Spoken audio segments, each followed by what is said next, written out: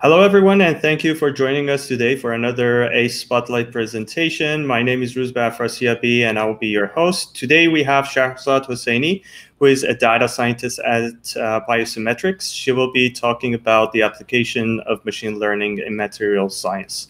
With that, and without further ado, I hand things over to Shahrzad. Hello, uh, everybody, and thank you for the kind introduction. Thank you, everyone, for joining me to discuss about machine learning in materials discovery. Um, I would like to ask all of you to take a moment and look at this picture and see what you're seeing, and guess what uh, is uh, what is it about and why.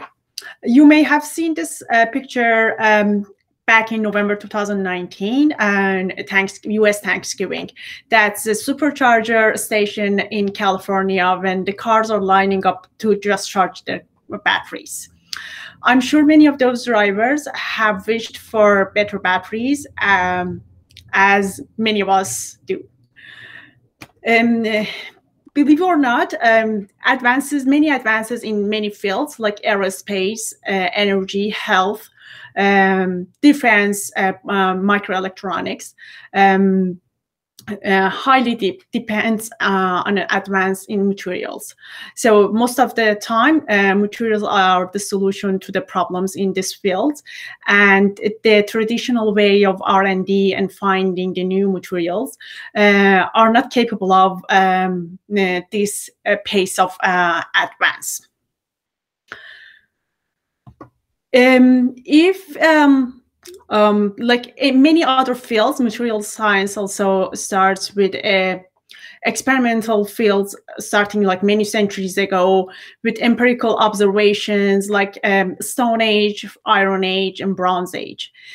Um, few centuries ago, with um, uh, scientists started to generalize and formulate the laws of physics um, into mathematical uh, equations and that uh, results to a second paradigm, which is model-based theoretical science. And for example, in material science, laws of thermodynamics has helped this field to advance a lot. And a few decades ago, with um, advance in the computation power of the computers, many problems that can't be uh, that can't be solved analytically has been uh, computationally or um, compute has been solved computationally. For example, um, uh, density functional theories or molecular dynamics has helped material scientists to um, to formulate real world uh, phenomenon and simulate them in a way that they couldn't have done with theoretical models.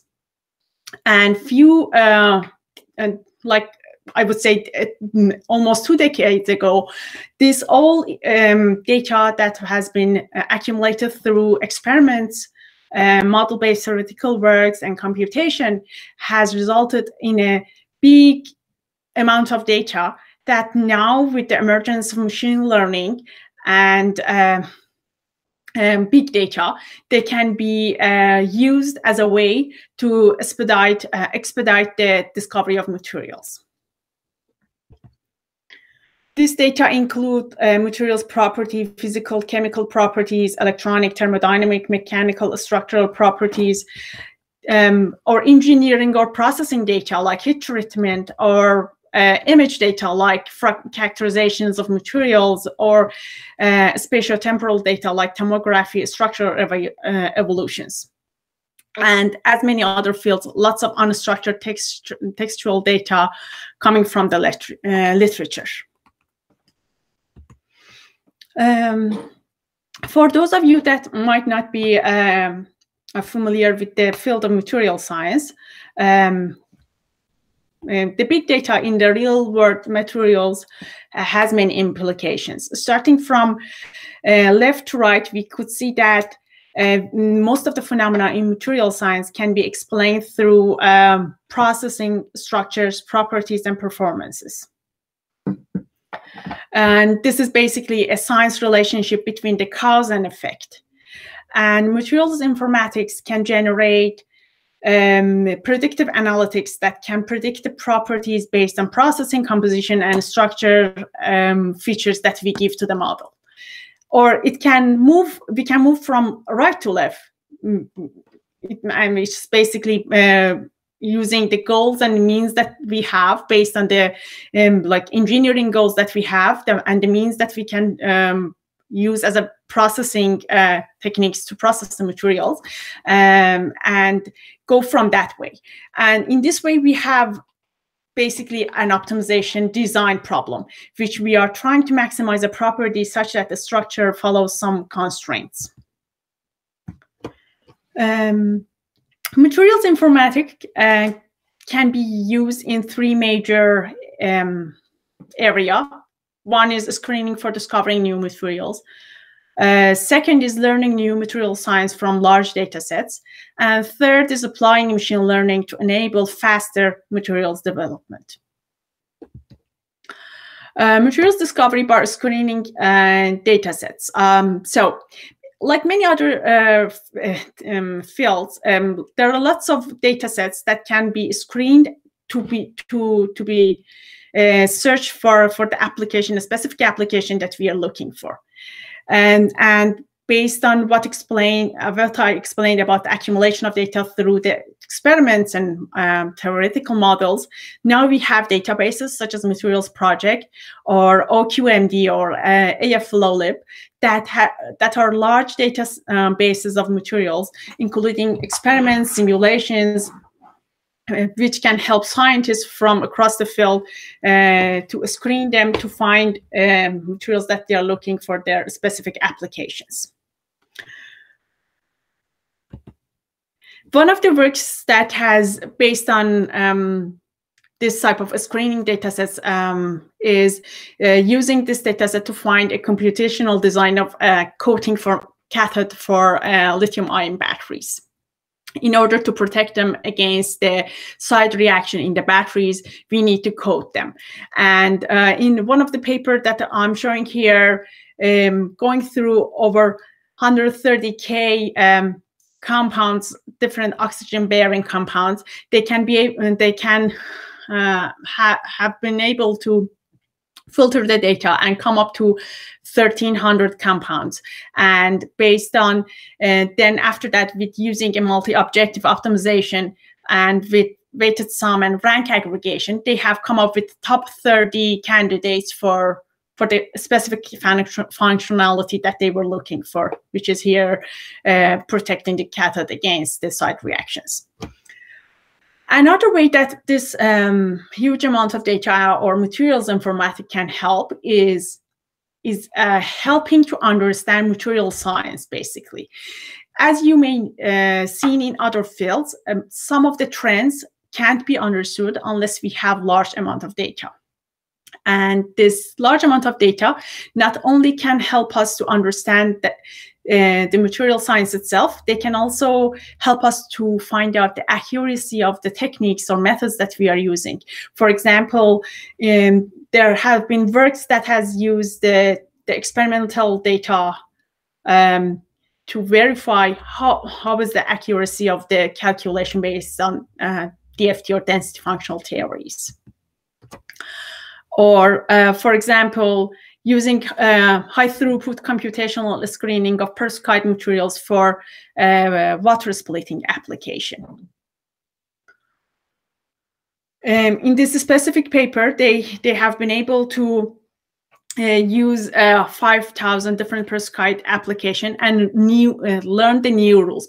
Basically, um, um, instead of uh, uh, simulating the formation uh, energy of one specific compound. They have searched the whole map of the compounds, anything stable or um, semi-stable, and have been able to form this graph of materials that the edges shows the uh, the, the, relation between the, uh, the compounds and also the, the corners are different elements. And it, this also includes more both stable and uh, semi-stable uh, materials. Another field that uh, materials informatics can help is using or accelerating uh, discovery of materials uh, based on machine learning. Um, like um, most of the machine learning can can be used to replace the expensive uh, ab initio or DFT calculation. and they are very um, uh, timely, expensive calculation that machine learning with learning the new the rules uh, without even knowing that um, um, uh, without any expert knowledge can help um, to accelerate this. Uh, and basically, they are working um, as a surrogate model, um, as well as um, aggregate properties of materials such as formation enthalpies given its atomic structure at rates several orders of magnitude, magnitude faster than the methods that we are conventionally can use based on the um, pure computations. Mm-hmm. And that can expand the space of uh, uh, properties accessible to uh, atomic space um, scale modeling. Uh, one of the uh, papers that has used um, um, machine learning for for uh, accelerating the discovery is using the transfer learning. Most of the data sets that uh, are available in material science are coming from computations, and this computation are based on approximation, and that causes this um, this computational data sets um, with lots of error compared to re real um, experimental materials. So, um, so in this specific paper, um, authors has been able to use uh, the learning that they can do on a large data sets based on um, computation and transfer it in a smaller data sets of materials from experimental conditions and basically learning the latent variables there and applying that uh, to a real uh, experimental data and being able to use it as a way to uh, discover new materials for, for a specific application that they were looking for. Um, another new emer uh, emerging field in materials discovery is through capturing the latent knowledge. And that's a great paper um, that has used the, the knowledge in the literature uh, through pure NLP work, natural language processing work, to be able to find out the materials that could have been discovered many years bef- um, before that they have actually discovered. So they have they have gone through the, the, the literature and found that there are compounds that has later been discovered for a specific application or having a specific property while they could have been discovered much more uh, earlier if we had the knowledge that we ha have now based on the literature. Their past literature basically. I'm not going to talk about this one um, more than that because um, we are going to have a great talk on this uh, paper. And um, one other way that uh, machine learning is helping the materials discovery is um, using the semi-supervised or um, um, natural language processing techniques to come up with a synthesis method for materials. Basically, in this uh, paper, they have just used um, um, topic models to find out different topics of material based on this experimental sections of the papers.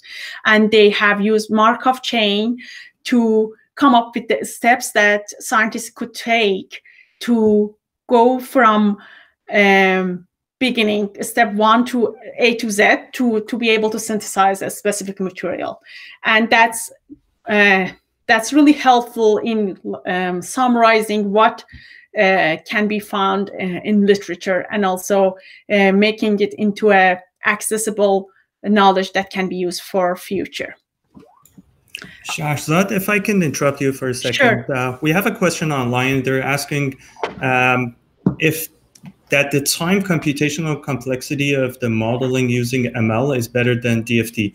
I believe they're asking if um, if, if uh, ML models can do better than DFT in regards to uh, the processing time and uh, the processing power required. Yes, I, I think I, I mentioned in uh, in the slide that I was talking about the um, the computational um, so like uh, in this slide, I guess, uh, which which machine learning helps us to understand the, the, techniques that we are using. So basically using the machine learning techniques we can we can go through the experimental data and see the accuracy of the dft models. And sometimes machine learning can uh, can do the the job of the dft calculation just by, by learning the, the rules. uh, without um, like expending too much time on doing the DFT calculation. Yeah, it's very correctly said. Um, DFT calculation are very time consuming computations basically yeah so so like based on what i understand dft calculations usually uh, take much more time because um, they, they consider all states um, or all conditions um, but uh, ml methods uh, would usually skip some of these uh, steps uh, based on what i understand is that correct um, uh, yes, uh, that that's correct. And also um, with DFT calculation, um, uh, basically the computation is doing the whole process of the like the phys- physical or quantum mechanical solving of a Schrodinger uh, equation basically. But with machine learning if it, it can just learn the rules that um, causing like from going the features to to to the answers that we are looking for based on the calculation that has already been done. And we don't really need to to to repeat it for a, a larger space that we need. We, we can do it in a smaller space as as you correctly said. So based on what you just described are you, are you, are you saying that uh, the machine learning methods would learn from the data from dft basically they are yes they are contributing to each other. Both machine so we can use we are using dft calculation to do machine learning modelings uh, to predict the uh, um, properties or whatever we want. Uh, so we are using the features that we are getting from DFT as an input to, to machine learning. And we can also use machine learning as a surrogate model to do the DFT for us, to, to, to get the information that we are learning, basically learning the physical rules that that like for example gives us the band gap of uh, um, semiconductors. Okay that answers uh, i think all our questions. Uh, thank you so much. No problem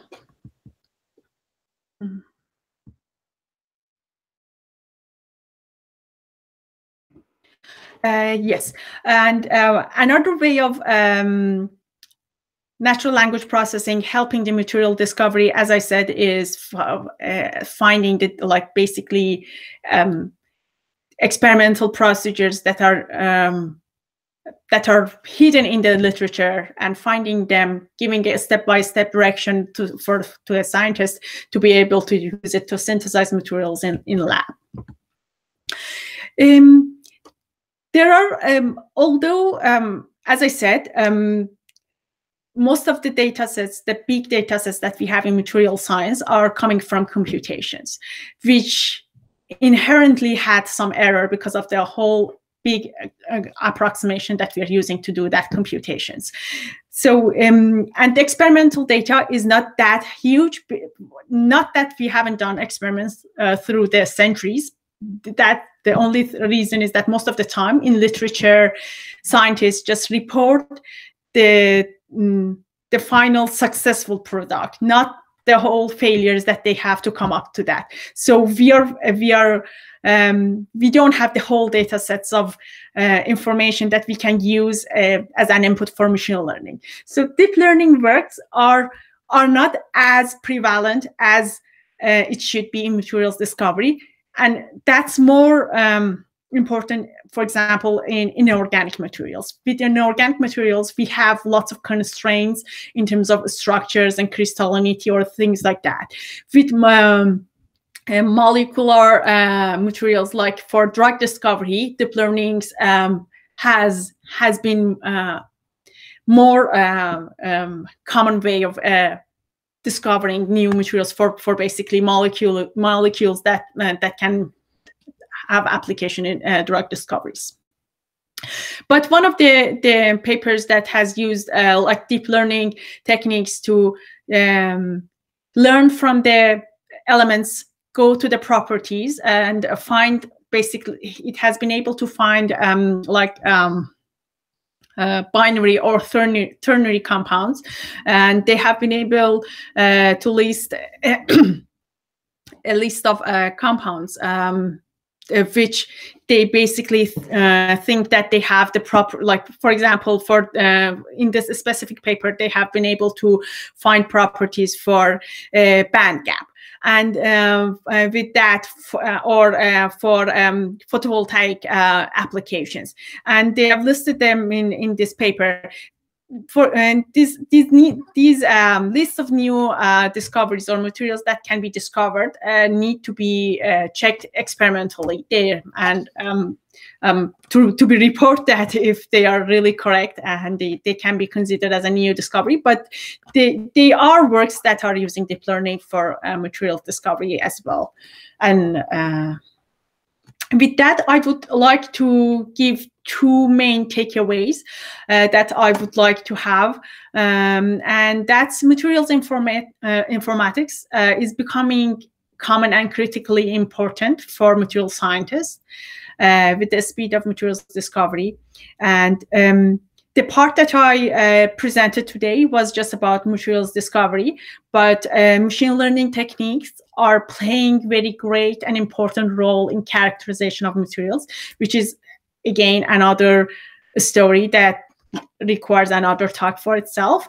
But um, and more structured machine accessible data sets uh, can help this field to better take the advantage of the progress uh, and state of the art techniques that we have in uh, machine learning and deep learning basically um, with that i would like to thank you everybody and i'm happy to take the question if there are any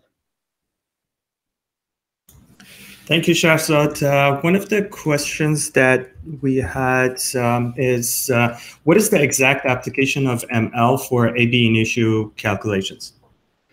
Um, so it has as i said uh, it has two it's it's same basically same as dft calculation. It has two ways starting from so we use um, the output of uh, ab initio calculations um, as an input for machine learning um, models to be able to predict, for example, property, uh, like going from um, ele electronic structure, like band gap of um, semiconductor being able to to predict the the the color uh, or the wavelength of uh, um, the and also in, including the process because we are also including the information that we have from processing the material structure of the material to be able to predict um, the color of the wavelength that a specific semiconductor can emit.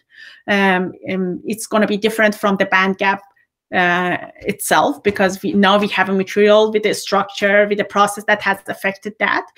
That's one part. So and that's that.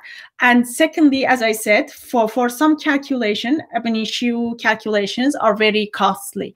Uh, so um, sometimes machine learning can can help to learn that um, that rules and do the, um, the like basically give us the output of the ab initio uh, calculation basically as a surrogate model, learning the rules and just giving the outputs. Like for example, um, uh, with the example of the band gap that I said, like giving the electronic structure of the material, uh, getting the band gap, the theoretical band gap of the materials, compounds basically. Okay, so let me just check if there are any questions. Um, don't have any questions on YouTube. I just had a general question. Um, where do you think um, ML is in material science right now? Have we reached a point where, where we have created materials using uh, machine learning uh, methods that um, have reached a point where they're products? Uh, yes. So it depends. If if you're looking for very cutting edge technique of uh, like machine learning to be used in material science, it's not as prevalent as other fields. Um, as I said, is because of this um, the data sets that we have. But um, I am seeing many companies are uh, emerging around the product that uh, doing a um, couple of things. First, they are trying to give, um, like for materials producer or like materials synthesizer. Like for example, in my postdoc, I, I was working with a company that was uh, producing materials for battery application, and we were we were using machine learning techniques to give them the suggestions of the materials that we were thinking that could be a good candidate. So we have that. We also have companies that are going to like doing a consulting projects for for other companies. So basically we um, giving uh, they are saying to the companies you don't need to to go whole through the whole data sets of uh, experiments and do all of them uh, to be able to get the, the specific property that you want. For example fatigue property in the steel. We can predict that if you use this composition of the um, carbon, iron, whatever uh, alloying elements, plus this processing technique, you would approximately have that property. So you don't need to search for the uh, wider range of the um, uh, space.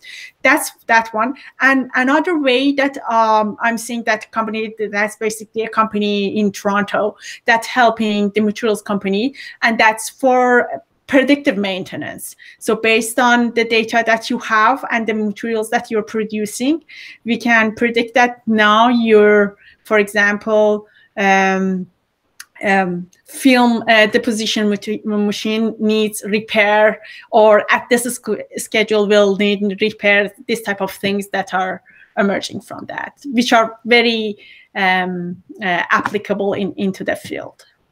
So the, the, the, the, example that you just gave, is this based on having sensors connected to, let's say, a machine? Yes, then... yes, okay. yes. Okay, interesting. Um, we have two more, two more questions uh, sure. from uh, online audience. Uh, first one is, uh, how does the interaction of formal calculations, example DFT, and uh, the ML techniques work? Um, do they exchange data or rules, etc.?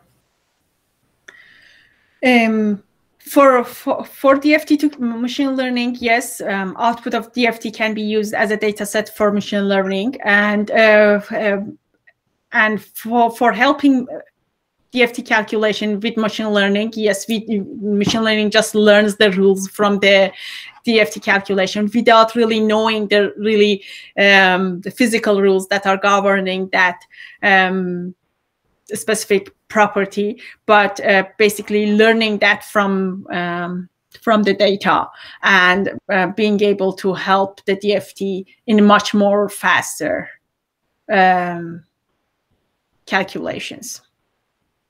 Um, thank you. The second question that we have is uh, what data sets uh, do we have access to? I uh, want to hear a little about them. How big uh, are, are they? Uh, are they updated? Uh, how good are they? So on and so forth. So, in that couple of uh, databases that I mentioned here, uh, Materials Project or uh, Open Quantum Materials Database, they are really big data um, databases um, which include experiment and calculation. Most of them are calculations um, because um, just recently people are trying to to enter like digitize the uh, experimental work, but most of the computational works, molecular dynamics or DFT calculation works um, has has been um, very well documented in these databases. Um, so you could basically start from elements going to uh, properties like what would be the shear modulus of um, like this um, element or like whatever and based on that um, you could enter your uh, own processing data and be able to use machine learning techniques to to predict the properties that you want or performance based on that okay I, we have um, another question in continuation of sure. uh, previous question they're saying how does um, they're talking about uh, usage of uh, DFT and ML. They're asking how does that help uh, the DFT calculations? Uh, is the goal of uh, using ML uh, to replace DFT, or is the goal to accelerate it?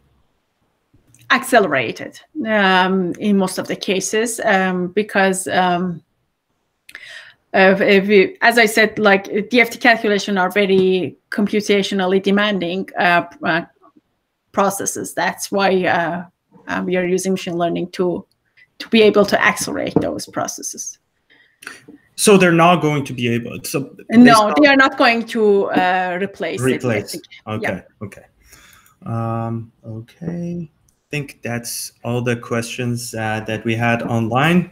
With that, I would like to thank you so much uh, for uh, giving this talk. Uh, I would like to also uh, remind the audience that uh, we have another presentation at noon. Um, the title of the presentation is Model Selection for Optimal Prediction in Statistical uh, Learning.